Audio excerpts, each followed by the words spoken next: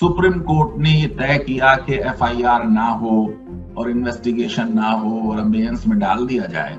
लेकिन देखिए, एफआईआर ना होने का मतलब ये नहीं है कि एफआईआर नहीं होगी। अगर केदारनाथ का जजमेंट मान लिया जाता तो कुछ भी नहीं हो। बात वो ये कह रहे हैं कि अगर किसी ने नारे लगा दिए या अगर किसी ने कुछ स्पीच भाषण दे दिया तो सिर्फ़ भाषण की बिना पर एफआईआर ना हो। कुछ लिख दिया सिर्फ़ लिखने के बिना पर ना हो। जब तक उसके नतीजे में कुछ और ना हुआ हो, कोई वायलेंस हुई हो उसके नतीजे में। बेसिकली कानून में इतनी इसमें वो बात नहीं रही, क्योंकि राजद्रोह साबित करना बड़ा मुश्किल काम है।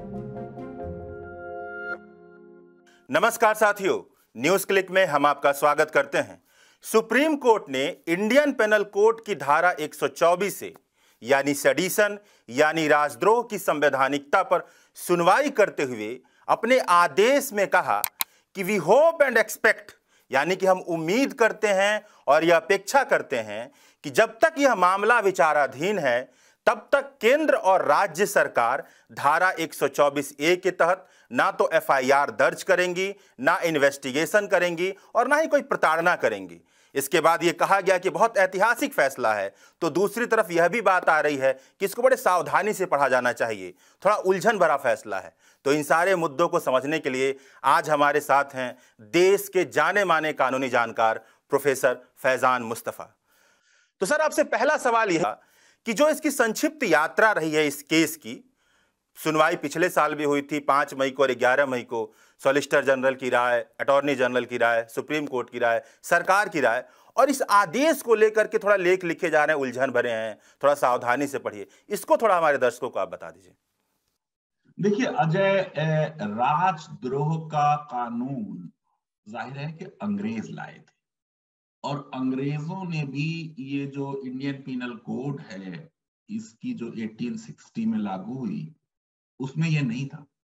जब देवबंद से फतवा आया कि अंग्रेज़ों के खिलाफ भारत के मुसलमान अब जिहाद करें, इससे ये भी समझने की ज़रूरत है कि जिहाद जो है, वो एक जुल्म के खिलाफ लड़ाई है। वो कोई किसी धर्म के खिलाफ लड़ाई नहीं है। और अगर आप पर जुल्म नहीं हो रहा तो आपको जिहाद करने का अधिकार नहीं। और ये भी है कि जिहाद सबसे बड़ा अपने विरुद्ध होता है। ये हमारी भारत की भी संस्कृति रही है कि सबसे बड़ा कंट्रोल जो है, वो अपनी इंद्रियों पे कंट्रोल रखो।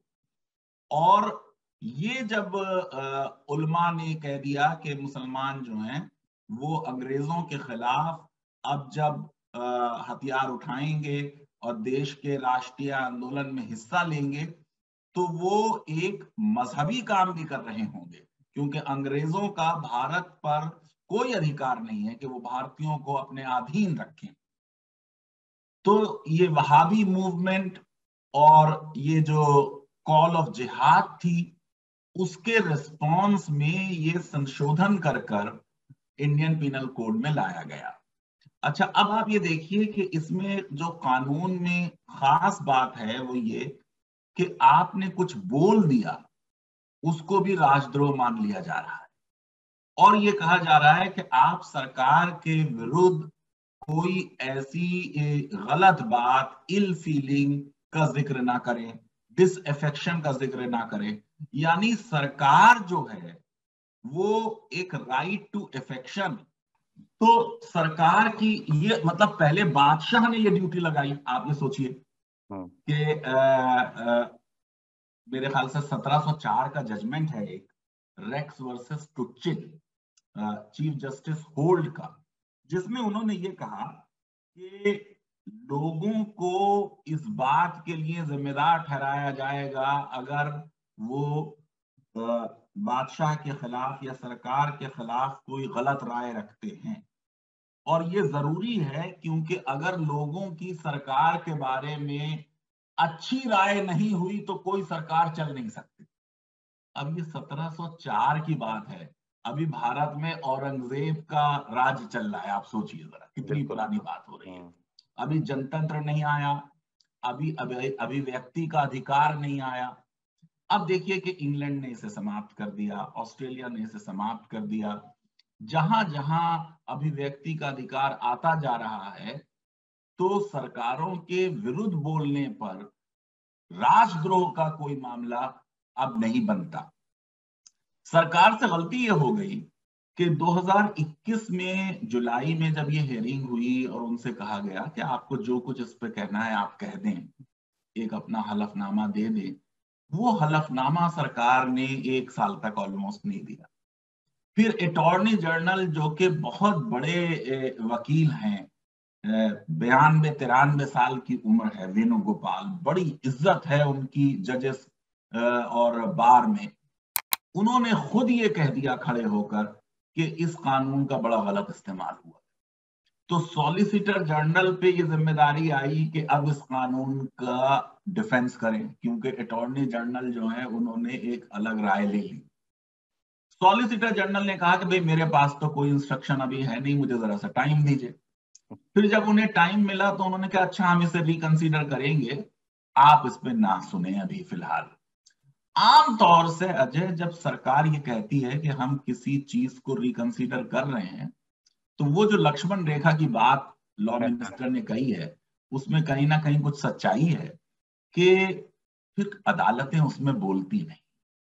खास तौर से क्रिमिनल लॉ के मामले में, खास तौर से उस लॉ के बारे में जो सौ साल से ज़्यादा पुराना कानून है उस लॉ के बारे में जिसको सुप्रीम कोर्ट की खुद एक पाँच जंच बेंच ने केदारनाथ के केस में उन्नीस सौ बासठ में संवैधानिक पाया था ये ऐतिहासिक है कि सरकार के ये कहने के बावजूद कि हम इसको रिकंसीडर करेंगे, सुप्रीम कोर्ट ने ये तय किया कि एफआईआर ना हो और इन्वेस्टिगेशन ना हो और अबेयंस में डाल दिया जाए लेकिन देखिए एफआईआर ना होने का मतलब ये नहीं है कि एफआईआर नहीं होगी। उन्होंने एक होप एक्सप्रेस किया है। हाँ। और इस तरह के होप पुलिस मानती नहीं। अगर ये होप माना जाता तो आप सोचिए बासठ का तो जजमेंट है। होप नहीं है जजमेंट है। जिसमें यह कहा गया कि जब तक किसी के बोलने के नतीजे में वॉयलेंस ना हो पब्लिक ऑर्डर को खतरा ना हो तब तक राजद्रोह का मामला नहीं मान लेकिन इस पाँच जजेस की बेंच के इस फैसले को हमारी पुलिस ने नहीं माना। तब तो ये मामला यहाँ तक पहुँचा। अगर केदारनाथ का जजमेंट मान लिया जाता तो कुछ भी नहीं होता। मेरी सिक्स सेंस ये कहता था कि सरकार जो है वो ये कहेगी कि जो केदारनाथ ने कह दिया, अब हम उसको इंडियन पिनल कोड में लिख देंगे 124 ए में। और ये मामला रफा दफ़ा हो जाएगा। लेकिन कोर्ट कुछ मुझे ऐसा लगा कि शायद डिटरमेंट थी, अगर बहस होती तो इसे असंवैधानिक ही डिक्लेयर कर दे तो सरकार ने एक तरीके का मास्टर स्ट्रोक खेला था, लेकिन वो चीफ जस्टिस ऑफ़ इंडिया ने एक्सेप्ट नहीं किया इस स्टेज पे। और उन्होंने कहा कि क्योंकि ये अब्यूज होता रहा है, सरकार भी मान रही है कि ये अंग्रेज़ों के जमाने का कानून है, इसमें बदलाव की ज़रूरत है।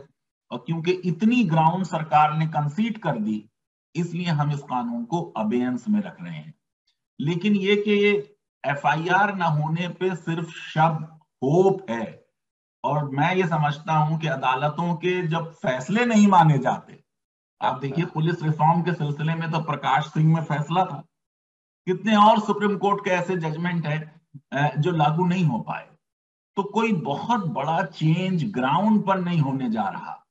लेकिन ये कि सुप्रीम कोर्ट ने लोगों के मौलिक अधिकार और सरकार के इंटरेस्ट को बैलेंस करने में कहीं ना कहीं मौलिक अधिकारों को तरजीह दी है इस फैसले तो क्या सर मतलब कि आपकी बात से तो लग रहा है कि बहुत स्पष्टता मतलब नहीं है आदेश में लेकिन फिर भी के मामले में जरा आदेश कमज़ोर है। हाँ। एफ़ के मामले में कोई सख्त ये कोर्ट कह देती कि अब कोई एफआईआर नहीं होगी। ये नहीं कहा। उन्होंने ये कहा कि हम उम्मीद रखते हैं कि अब एफआईआर नहीं होगी। और देखिए सच बात ये भी है। मेरी देखिए अजय बात हमेशा ये रही कि मैंने एक लॉ के विद्यार्थी की तरह सही सही कानून को देशवासियों तक पहुँचाया है। बिल्कुल। देखिए सही बात यह है कि अगर कोई देश के इंटरेस्ट के विरुद्ध कार्य करेगा तो एफआईआर होगी और होनी चाहिए। हाँ, इस पहलू पर प्रश्न ये है कि क्या सिर्फ़ बोलने पर एफआईआर होगी? इस पहलू पर सर अगर, अगर राजद्रोह का मामला है तो इंडियन पीनल कोड में पूरा एक चैप्टर है वेजिंग वॉर भारत सरकार के विरुद्ध विद्रोह। अगर आर्मी में, नेवी में एयरफोर्स में विद्रोह हुआ, यदि आप किसी बाहरी शक्ति से मिलके देश की संप्रभुता पर कोई कठुराघात कर रहे हैं तो आप पर मुकदमा चलेगा। और 124 124 ए चला भी जाए, तब भी देश में और बहुत से कानून हैं, जिन कानूनों के तहत आपके ऊपर मुकदमा चलेगा। तो सुप्रीम कोर्ट ने इस बात को बिल्कुल एक्सक्लूड नहीं किया कि कोई एफआईआर नहीं होगी बात वो ये कह रहे हैं कि अगर किसी ने नारे लगा दिए या अगर किसी ने कुछ स्पीच भाषण दे दिया तो सिर्फ़ भाषण की बिना पर एफआईआर ना हो। कुछ लिख दिया सिर्फ़ लिखने के बिना पर ना हो, जब तक उसके नतीजे में कुछ और ना हुआ हो। कोई वायलेंस हुई हो उसके नतीजे में। ठीक सर मतलब कि ये बात तो आपकी स्पष्ट है कि मतलब ये बता रहे हैं कि एब्सोल्यूट जो है स्टे तो नहीं लगा है।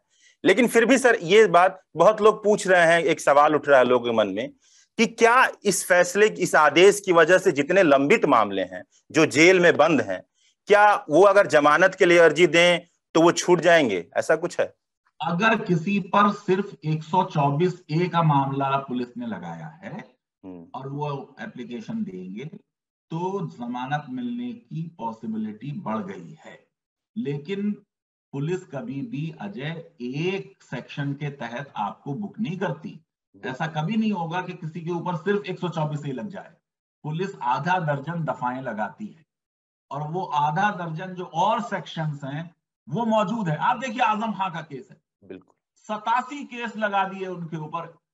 इतनों में बेल हो गई एक में नहीं हुई अभी तक जेल में। तो बहुत मेजर फ़र्क नहीं पड़ने वाला। लेकिन ये कि एक मैसेज दिया है कोर्ट ने कि हम एक लोकतंत्र हैं और हम मानव अधिकारों और बोलने की आज़ादी और अभिव्यक्ति के अधिकार वाले देश हैं। और उस देश में लोगों को कुछ भी बोलने का अधिकार है। ये ये एक सुप्रीम कोर्ट ने मैसेज दिया है। तो ये एक जो सेक्शन 121 है 122 है 123 जिसका आपने भी ज़िक्र किया, और 124 ए है, इसके बारे में बहुत सारे लोग कहते ये आया ही था मिस यूज़ के लिए। और जब ऐसी बात थी और हमने अपने इतिहास में भी देखा है कि बाल गंगाधर तिलक महात्मा गांधी पर ये लगा था। तो संविधान सभा में जब बहस हुई तो इसको हटा क्यों नहीं दिया गया? संविधान सभा में बहुत बहस इस पे हुई, अजय, जो हमारी मौलिक अधिकारों की सब कमेटी थी, उसके अध्यक्ष थे सरदार वल्लभ भाई पटेल।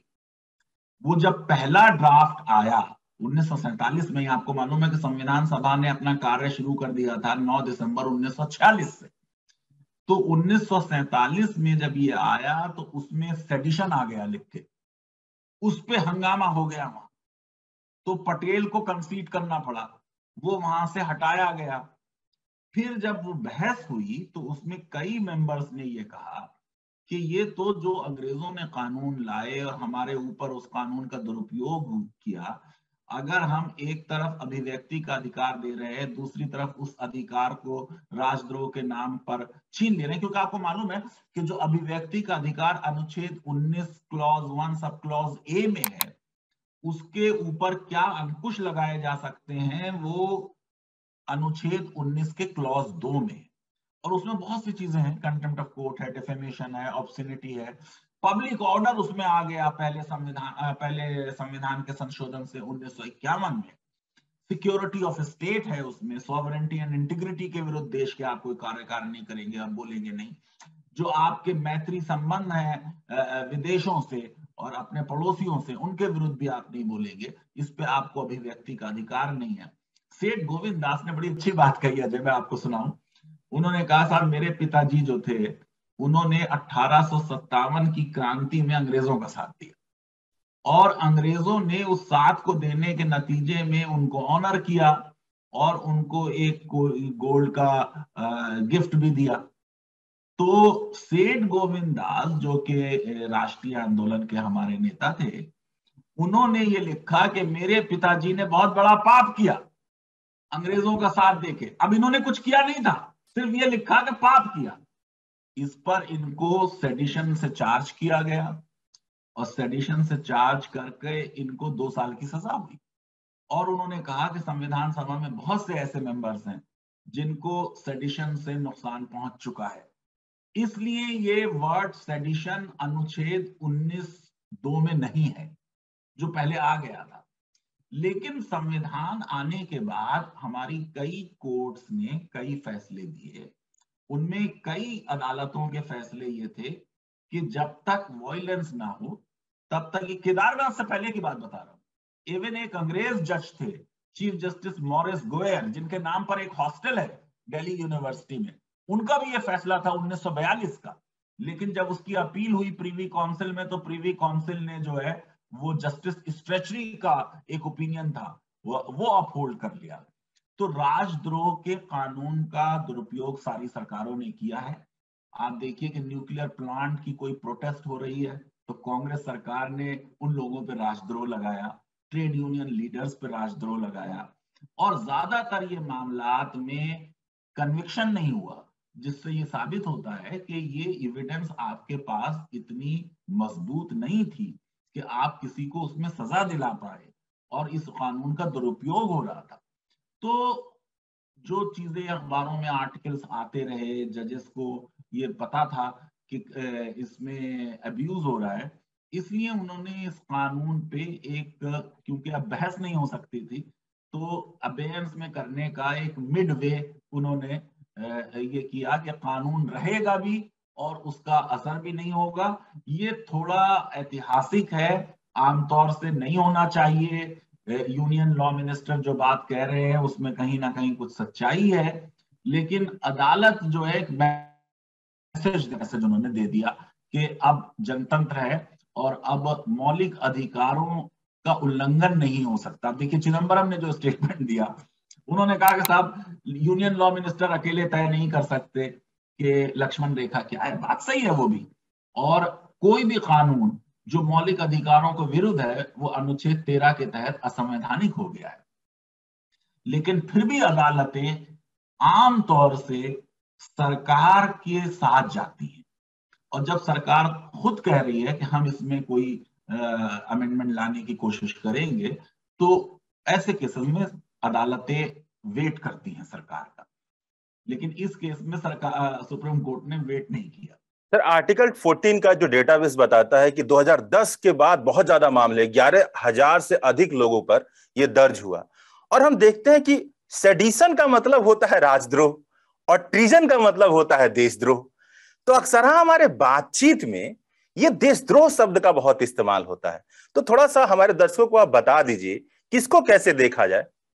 नहीं, देखिए, मेन बात यह है कि राजद्रोह का अगर ये मामला भी आप देखें कि इसमें एक तरफ़ हो रहा है कि लाइफ इम्प्रिजनमेंट की सजा होगी, एक तरफ़ हो रहा है कि तीन साल की सजा होगी। ये एक साइकोलॉजिकल वॉर जो होती है परसेप्शन की, उसमें इस्तेमाल हो रहा है। बेसिकली कानून में इतनी इसमें वो बात नहीं रही, क्योंकि राजद्रोह साबित करना बड़ा मुश्किल काम है। अगर किसी ने सिर्फ़ बोल दिया आप देखिए बलवंत सिंह के केस में सिनेमा हॉल के बाहर खालिस्तान जिंदाबाद के नारे लगा दिए गए, उसका कन्विक्शन हो गया, सुप्रीम कोर्ट में मैटर गया, सुप्रीम कोर्ट ने कहा, नहीं, खालिस्तान के जिंदाबाद नारे का मतलब जो है वो राजद्रोह नहीं है, जब तक उसके नतीजे में और कुछ ना हुआ हो। पुलिस अपने को अक्सर जस्टिफाई करने के लिए एक परसेप्शन की लड़ाई लड़ती है। उस परसेप्शन की लड़ाई में सबसे बड़ा हथियार जो है वो ये है कि ये जो बोल रहा था ये कह दो ये तो राष्ट्र का दुश्मन है। दुश्मन क्योंकि उसके बाद सेंटिमेंट किसी का उस आदमी के साथ नहीं रह सकता। ज़ाहिर है कि कोई भी देश प्रेमी जो है वो अपने देश के विरुद्ध अगर कोई कार्य कर रहा है उसके साथ नहीं हो सकता। देखिए हमारे प्रधानमंत्री जी भी कहते रहे कि सरकार की आलोचना वेलकम है कोई उसकी बात नहीं। तो ये एक डिस्टिंक्शन करना कि सरकार अलग है और देश और राष्ट्र अलग है। सरकार का विरोध हो सकता है, लेकिन राष्ट्र का विरोध नहीं हो सकता। मुझसे किसी ने पूछा कि अब बलवंत सिंह के केस के बाद और सुप्रीम कोर्ट के इस केस के बाद पाकिस्तान जिंदाबाद के नारे लगाए जा सकते हैं? मैंने कहा, क्यों लगाए जाएँगे? पाकिस्तान ने कोई ऐसा काम नहीं किया जिसपे उनको जिंदाबाद कहा जाए। और भारत का तो एक, आप सोचिए कि हमारे दिल में तो एक बर्छी छुपी लगी हुई है कि हमारे देश का विभाजन हुआ। अगर किसी की मातृभूमि का विभाजन हो तो जो विभाजित देश है उसके जिंदाबाद की पॉसिबिलिटी ही हम क्यों एक्सप्लोर कर रहे हैं? मैं ये समझता हूँ कि किसी को ज़रूरत नहीं कि किसी और देश का जिंदाबाद लगाए।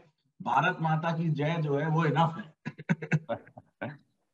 मतलब आप देखिए मतलब योगी आदित्यनाथ ने कहा था कि जो भी पाकिस्तान जिंदाबाद लगाता है मतलब क्रिकेट मैच जब हो रहा था तो वो देश विरोधी है। और यहाँ पर सरकार को कहा जा रहा है कि आप ये देखें कि एफआईआर वगैरह ना दर्ज हो। तो मतलब एक पहलू था इसमें मैं बात कर रहा था। देखिए अजय बात यह है कि अगर गेम हो रहा है गेम में किसी बैट्समैन ने एक अच्छा सिक्सर मारा ऑडियंस होते हैं उसमें अक्सर ताली बजाते हैं। आप देखिए कि मैं समझता हूँ पता नहीं कौन सा मैच था एट्टी वन या एट्टी टू का कभी बेंगलोर में हो रहा था या मद्रास में पाकिस्तान जीता था उसे। और उसमें पूरा चेपक स्टेडियम ने खड़े होकर उनकी तालियाँ बजाई थी। बिल्कुल। अच्छे गेम पर ताली बजाना एक चीज़ है और किसी दूसरे देश का जिंदाबाद कहना दूसरी चीज़ है। ताली बजाने को मैं एक संविधान के टीचर की हैसियत से कह दूँगा ठीक है भाई किसी ने कोई अच्छा शॉट मारा एक नेचुरल इंस्टिंक्ट में ताली निकल गई वाह व्हाट अ शॉट या व्हाट अ बॉल लेकिन ये कि हम किसी और देश का जिंदाबाद करें ये तो मुझे नहीं पसंद है। हाँ, ठीक अरे बात हाँ, ठीक है लेकिन केवल जो खुद मौलिक अधिकारों को पढ़ाता हो। बिल्कुल सही कह रहे हैं। लेकिन हाँ। ये कि ये राजद्रोह नहीं है ये कानून है। सुप्रीम कोर्ट ये बता रही है कि कानून की वैसे भी नहीं करना चाहिए मैं समझता हूँ गलत है। लेकिन ये कि कानूनी तौर पर वो राजद्रोह नहीं। बिल्कुल। सर, आपसे बात करने की बहुत इच्छा है, लंबी बात करने की लेकिन आपके पास समय कम है। इसलिए मैं आपसे अंतिम सवाल पूछूँगा कि आप मतलब इस पूरे बहस में ये लगा कि मतलब सरकार ये कह रही कि चलिए, हम कुछ दिशा निर्देश जारी कर देंगे और ये मामला शायद सुलट जाएगा, जो तर्क दिए गए थे। अब आपको क्या लगता है कि मतलब कि ये भी है कि और सारे भी कानून है जिससे देशद्रोह साबित किया जा सकता अगर किसी को सरकार चाहे तो? तो अब आपकी क्या मतलब ये लोग जानना चाह रहे हैं कि क्या यह एक धारा 124 ए जो बोलने, इशारा करने, लिखने पर ही राजद्रोह लगा दिया जाता है? ये खारिज हो जाने की संभावना दिखती है असंवैधानिक हो जाने की? देखिए, ऐसा है अजय के अब सुप्रीम कोर्ट की तो कई बेंचेस इस पे जिस तरीके के इशारे कर चुकी हैं, उससे ये लगता है कि इसकी संवैधानिकता को बचाना मुश्किल होगा सरकार के लिए। मेरा ख्याल ये है कि सरकार शायद लॉ कमीशन से इस पे कोई ओपिनियन ले और उसके बाद मानसून सेशन में कोई संशोधन करेगी 124 ए में और उस संशोधन में वो बात कहेगी जो केदारनाथ में सुप्रीम कोर्ट कह चुकी है कि अगर आपके बोलने या लिखने के नतीजे में वायलेंस हुई है, कोई और एक्शन हुआ है तो आपको राजद्रोह का दोषी माना जाएगा वरना सरकार भी जो है वो इस कानून को अब भारत के संविधान के अनुच्छेद 19 से कंसिस्टेंट बनाने का प्रयत्न करेगी ऐसी मेरी आशा है। और मैं ये बात नहीं मानता हूँ अजय के एक ये स्टैंड लेना कि सरकार जो करती है वो सब गलत है। और जो सरकार के क्रिटिक्स बोलते हैं वो सब सही है। सच कहीं मिडिल में होता है। तो सच ये है कि इस कानून का एब्यूज हर सरकार ने किया है। इस कानून की संवैधानिकता पर हमेशा प्रश्न चिन्ह लगते रहे हैं। देश की आज़ादी से पहले भी और देश की आज़ादी के बाद भी। ये भी बात एक सच है कि कोई भी देश अपने विरुद्ध राजद्रोह को बिना सजा के नहीं छोड़ सकता और उसे नहीं छोड़ना चाहिए। और जो देश के विरुद्ध विद्रोह करे, उसको सजा डेफिनेटली बहुत सख्त मिलनी चाहिए। तो कोई भी नेशन स्टेट होगी, वो अपने विरुद्ध जो एक राजद्रोह होगा उसकी सजा का प्रावधान करेगी। यहाँ बिल्कुल छोटा सा प्रश्न ये था कि क्या किसी के बोलने, लिखने या नारे लगाने से राजद्रोह होता है, उसमें एक संशोधन की ज़रूरत है। और मुझे लगता है कि सरकार वो संशोधन कर देगी और उस संशोधन को फिर जो होगा सुप्रीम कोर्ट देखेगी कि क्या इस संशोधन के बाद अब 124 ए को रखा जाए या तब भी खारिज कर दिया जाए। अगर संशोधन बहुत ही, समझिए, कॉस्मेटिक हुआ तो 124 को असंवैधानिक घोषित करेगी। जैसे पोटा हुआ तो फिर 124 से रहेगा। पोटा को संशोधन करके यूएपीए जैसे कर दिया गया था। हाँ बस वो you know old wine in new bottle अक्सर हो जाता है। शुक्रिया सर हमसे बात करने के लिए। और हम्म। मैं हिंदी दर्शकों की तरफ़ से निवेदन करूँगा कि और भी मुद्दे कभी आए तो आपसे लंबी बातचीत हो। समय मिले। तो एक बात और कि अगर आप सजग और समृद्ध नागरिक बनना चाहते हैं तो सर का यूट्यूब चैनल फैजान मुस्तफ़ा नाम से है। उसे भी फॉलो कीजिए। और बहुत बहुत शुक्रिया सर हमसे बात करने के लिए। ये थी हमारी फैजान मुस्तफ़ा के साथ बातचीत। अगर आप हमारे खबरों को पसंद करते हैं तो आप न्यूज़ क्लिक वेबसाइट से जुड़ सकते हैं। हमारे यूट्यूब चैनल न्यूज़ क्लिक को सब्सक्राइब कर सकते हैं। हमारे फेसबुक पेज और ट्विटर को लाइक कर सकते हैं। शुक्रिया, आप देखते रहिए न्यूज़ क्लिक